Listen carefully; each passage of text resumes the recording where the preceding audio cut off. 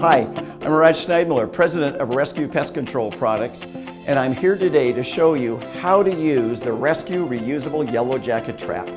You'll need a pair of scissors and a string, wire or twist tie. Unscrew the bottom cap to remove the cardboard pedestal. Grasp the interior cone to remove it and the contents inside. Then slide the cone back into the tab channels and snap it into place. Place the cotton ball into the attractant cup. Cut the tip of the attractant tube and carefully empty the liquid onto the cotton. Screw the bottom cap back into place. Thread your twist tie through the top tab. Hang the trap outdoors in the natural setting, like a tree about 20 feet away from human activities, or a known yellow jacket nest. The attractant that comes with the trap lasts two weeks.